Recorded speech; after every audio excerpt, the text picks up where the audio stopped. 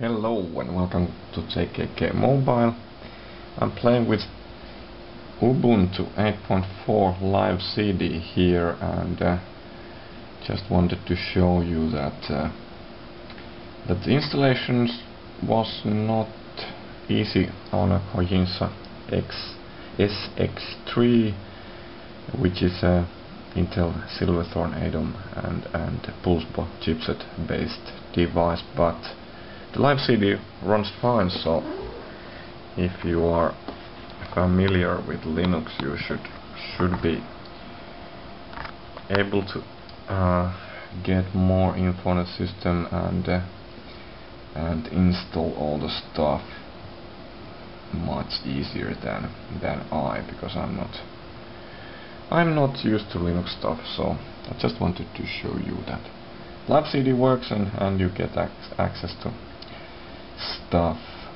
One really nice thing was again noticing the screen uh, screen resolution. So again this is just like on XP I'm not using any drivers for the graphics and it's software interpolated to 1024 by 768 even the native resolution on the on the Kohjinsha is 1280 by 768 so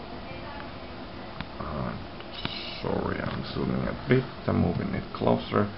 So it, it looks perfect. So in that sense hopefully that that is a good news for Ubuntu users. Really nice nicely looking so no problems on that because I know that the drivers will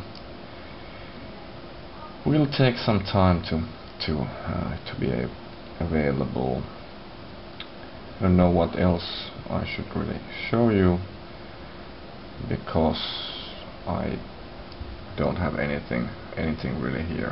PDF I can open PDFs everything is from the from the CD drive uh, mousepad works scrolling works like you could see.